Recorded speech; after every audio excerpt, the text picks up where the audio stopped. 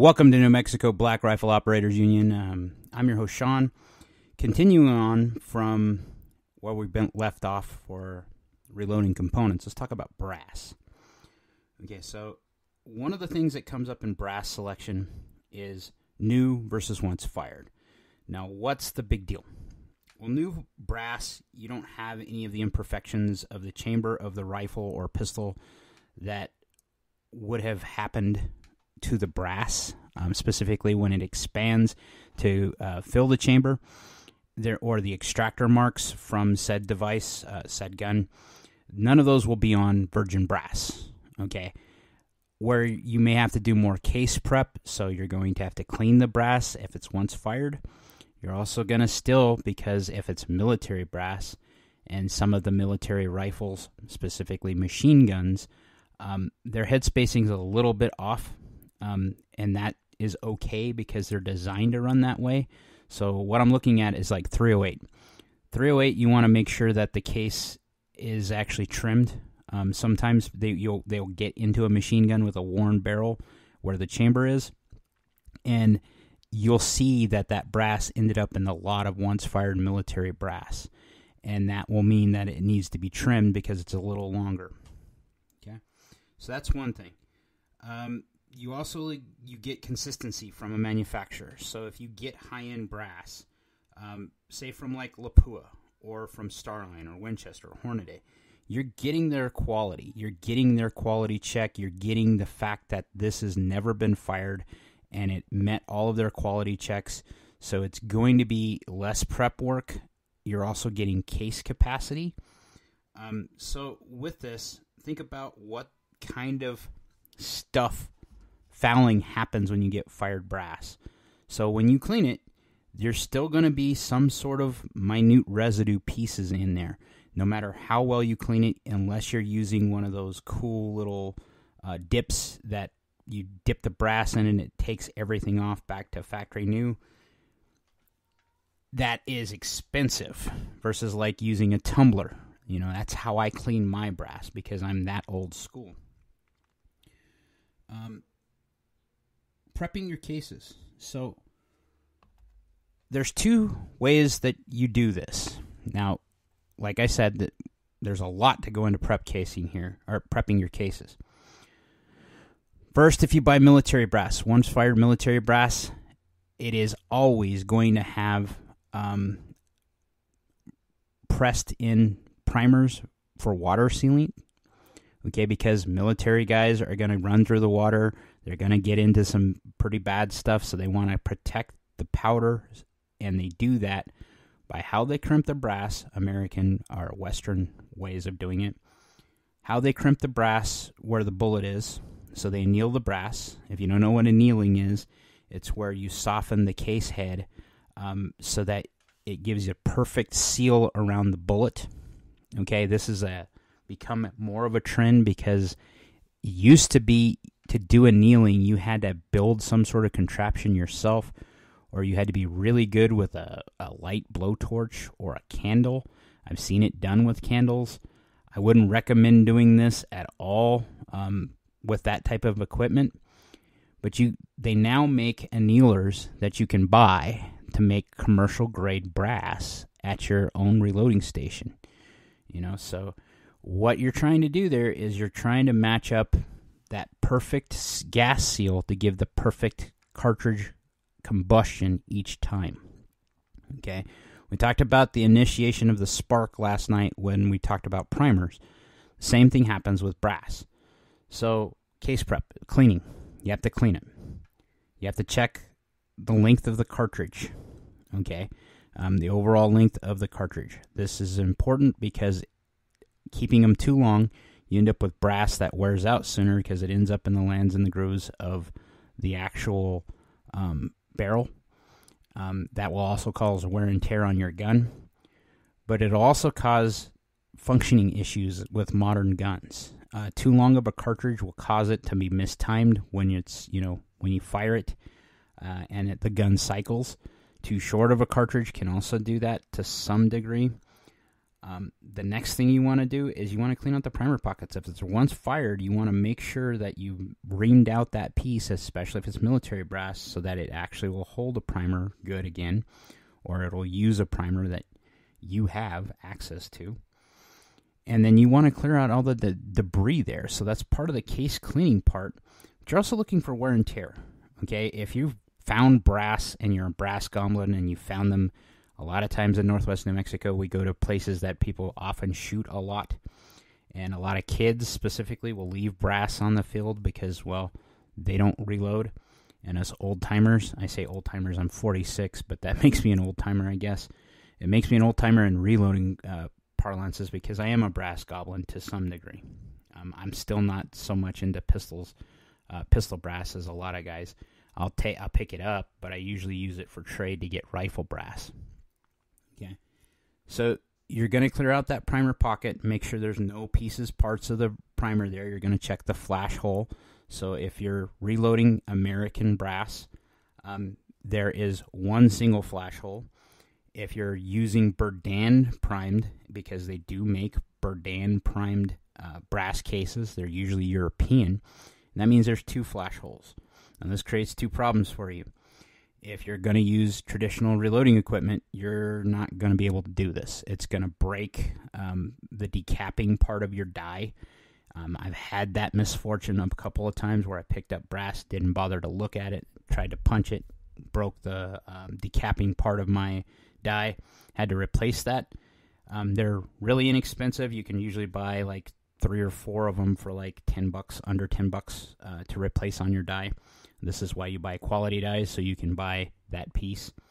Um, the other thing is, if you're doing the Berdan Prime, this is where I was going with this, you're going to have to have special loading equipment.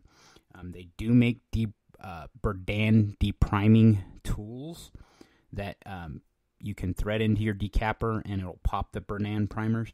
But this introduces another problem. Berdan primers are not a thing in the United States. So What's the real difference is how they flash in there instead of having two flash holes with Berdan boxer primed, which is what American and what most Western countries use. Uh, nowadays, um, there's still some European countries that still use Berdan because they see it as a, a point to get better ignition for the charge. Um, but Boxer Prime will have a single flash hole, and you want to make sure it's clean and that it has no burrs or isn't too worn out and too big because that'll affect the timing of the cartridge going off. Meaning that if it's too big, too much of the flash goes in, too much of it ignites, and you're going to get different pressures with the cartridges. This also goes back to manufacturers. Who makes the cartridge? Most really high end manufacturers are consistent with the size of that diameter of the flash hole. Um, if you buy less expensive brass, they don't do the quality control that those other guys will do. So you might see some deformities in that. And the idea here, again, is to make these cartridges as close to perfect as you can if you're looking for precision. And nowadays, with the price of ammunition and the time you're going to invest in reloading, that's where I see the biggest bang for your buck is if you're looking for precision rounds. Reloading is still your best option. Okay. So you're going to do that type of thing. You're going to look for other deformities. If they're once fired brass, again, you're going to look for the bulges of the bar- of the brass itself. Remember that that deformity in the chamber. That means if it's out of spec, that it's too wide in some areas because it's worn out, or it's uh, it's fully faulty. Okay, the the chamber of the gun itself is. You'll see cracks in the brass. If they're cracked, they need to go in the discard bin. You cannot use them because it's not safe for you. What you're trying to do is keep yourself safe when you're doing this, and reloading if is very safe if you follow the rules and follow process. The minute you step out of line and you skip a process or you think you can shortcut this, is where you usually get bitten. And what I mean by that is you get a ruptured case, which one or two isn't bad, but if you have a hundred of them, you're going to see some problems with your gun. Specifically, you're going to start think about it in this way. You have a ruptured case, you've just exposed whatever piece part that that rupture had to with the uh, pressure that escaped from that, but also that flash that is about the equivalent over time of a blowtorch. So you want to contain that the best way you can. And the best way, preventative maintenance that I know of, is to make sure there's no faults in the brass. Plus, that leads to accuracy issues. And as I just said, the primary goal that I have with reloading is precision. Okay. Now, if you're a pistol loader, I'm going to tell you I have never seen a pistol cartridge, and it's more so a function of it being short barreled and that precision pistol shooters usually aren't looking at sub sub MOA groups where a precision reloader, a precision shooter, a real precision marksman is looking at the clover leaf of rounds. If they can make a single hole in a cartridge or in a target at range, that's the goal of a real true marksman. Now, pistol shooters, I've seen them make one giant hole, but it's a jagged hole. Okay, and they're also shooting at different distances. I'm not saying that you're not going to get precision with pistol cartridges. What I'm saying is that usually by the sheer volume of you reloading for pistols, you're not going to be as precise with your powder charges. Most people that load for pistols use those progressive automated machines so they can get quantity over quality. Now, I know some precision shooters that still handload for their pistol and they compete for precision pistol. They follow the same steps as I do for handloading for rifles. Okay? So you will get precision if you work at it, but you have to look at what the trade off is. If you're doing this to try to go train and have consistency when you're training, then getting accuracy, which is like, you know, a four inch disc, that's acceptable. Where I'm looking for quarter inch groups at the best. You know, if I if I can get them below a quarter inch, I'm really doing good for groups. Now, a lot of people will say, and I've said this multiple times too, when you're shooting for precision, there are some people that are naturally good at it. Um, there are some people that work to train at it. And then there's some that are just boastful and think they get precision when they get basic accuracy. Um, when you start talking to someone and they're talking about how they load and they're looking at bullet jump, um, what this means is when the brass, the loaded cartridge goes in the chamber, that they figured out exactly the distance between where it's safe and where it's perfect, where the bullet is meeting the lands in the groove with no jump or skip when the cartridge goes off. Okay, so they've worked out this for this particular rifle or cartridge that it engages in the lands in the grooves to maximize accuracy as soon as it starts the reaction goes off. You know, a lot of precision shooters or so-called precision shooters can outshoot their rifles. These are the guys that uh, you know they'll spend ten thousand dollars on a rifle, saying, "Yeah, I'm a precision shooter," Then you go out shooting with them, and you see them, you know, basically mag dumping in a tra- piece of trash. Um, a real precision shooter will usually take one rifle out just for purposes like this, and they'll put something that we know a said size of, and they'll put it out at long range, and they will hit a specific spot on it consistency cons- consistently. Okay.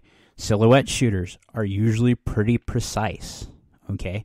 Because they're using um, a precise round that they've figured out for that gun to hit range targets from 100 to 1,000 yards.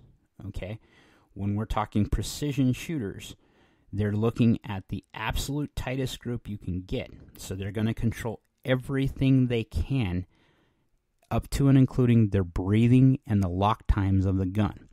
If you don't know what a lock time is, that's between when you squeeze the trigger and the hammer falls and it's the primer or the firing pin moves and strikes the primer which sets off the ignition. So, lock time is that little tiny, tiny, tiny microsecond that all that goes into place. Real precision shooters look for the lowest lock time possible because they want that initial push to go off as possible as quick as possible so that they keep their precision at those long distances. Understand that even the minutest movement of the gun, the trigger, yourself at long distances matters because that little tiny distance is amplified by sheer scale like almost logarithmic or algorithm not, not algorithmic um it's amplified to a such degree that a quarter of an inch or an eighth of an inch or a sixteenth of an inch or a thousandth of an inch can be magnified to an inch and a half, two inches, three inches at 500 or a thousand yards. This is one of the things with precision shooters that you'll notice how they breathe, where they hold their thumb. Because if you didn't under, didn't know this, your thumb and your trigger finger they all use the same muscle groups. And if you're using ergonomics, you understand that if you can keep them all in line and keep all those little variables in check, you're actually giving yourself the best chance of success at long ranges or even for pistol shooting. Okay? And this gives you a weird grip when you're precise precisely shooting at long ranges. And for pistols, that's not really acceptable because most people use the um, the most contact points on a pistol to get accuracy that they can get. Where a precision shooter is already anchored up their gun in a number of ways, and all they are engaging with the gun is with the minimalist pieces they can possibly do. So it's usually the pad of their finger and their cheek, and everything else is braced up one way or another, anchored in such a way that it allows for that perfect mechanical activation of the gun. And this is what makes reloading fun to me because I put all these variables together, you know, the bullet, the charge, the brass, the primer. I've selected all those things I've eliminated every little variance I could possibly do that commercial ammunition, there's acceptable tolerances that they have so that they can get the volumes they need to make sales.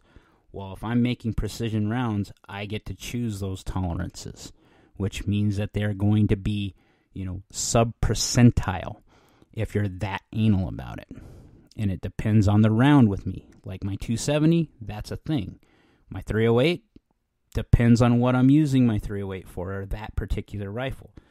One of my 308s is made to be used as, you know, a SHTF type of gun. Stuff hits the fan. I want one rifle that I'm going to take that I can kill animals with. If I have to hurt people or have to stop people, stop a threat, I want to be able to go through barriers. But accuracy to the, you know, three, you know, clover leafing uh, group to a quarter inch, while it's nice, it isn't necessary for that particular um, use case. But if I want to be able to hit at a thousand yards, and I want to know everything that I can possibly do to make it the greatest chance of success, I want to take all those variables out of that loop. So, like my 270 and my other 308, those cartridges are made specifically for that. Now, my 223, I've played around with that idea. I haven't fully committed to it. I have some cartridges that I've worked up, some loads that could be used up to 500 yards. But the way I see it the, at 500 yards, what, with my own personal experience, is that 500 yards, you're starting to see the wind touch that cartridge enough that it causes enough of a variable that I'm not okay with. Um, can I hit a rabbit? Yes. Can I hit a coyote at 500 yards? Absolutely, with my 5.56.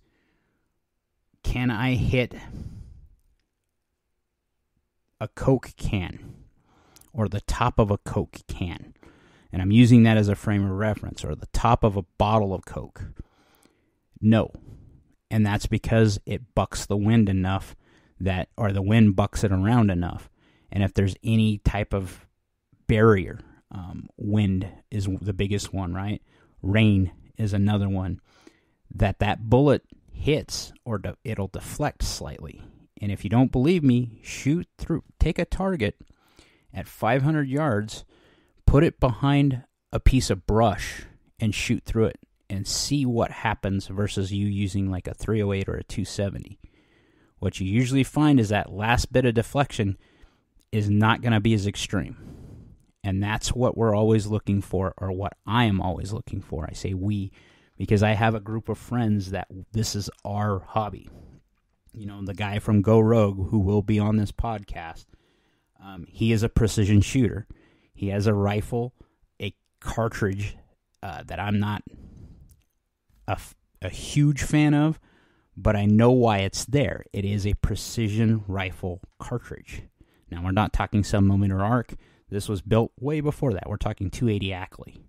And if you don't know a lot about guns, you wouldn't know what this cartridge is. But if you're into hunting and you're into precision shooting, you know exactly why this cartridge was made. Okay? So find what you're trying to do. Find out what the purpose of your reloading experience is going to be. You know, one of the other things you want you're going to hear a lot, and I mentioned it briefly, was about two stage or one stage, two stage, and three stage. What are those? This usually comes up in the discussion around dies. And what they mean is one stage is a purpose built die for one particular operation. Usually you'll see this around decapping. So you're popping the primer out each time, and it's not size dependent. It's not sizing the cartridge, it's just using that. That's single stage type dies.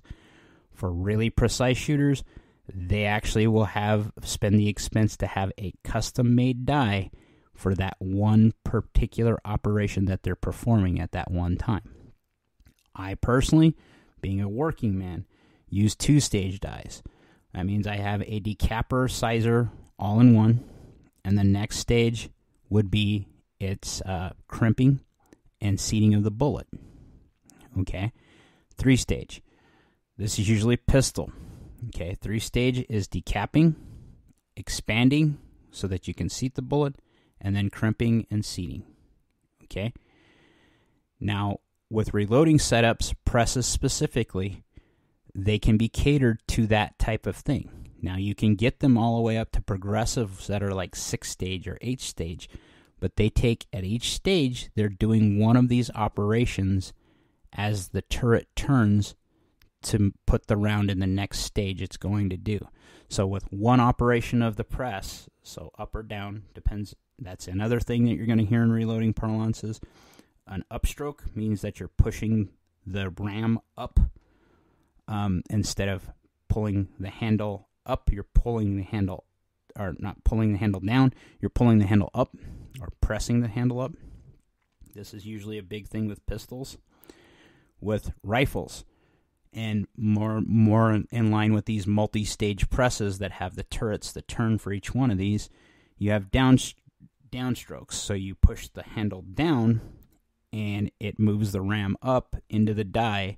And when you push it, pull it back up, it rotates the turret if it's a multi stage to the next operation.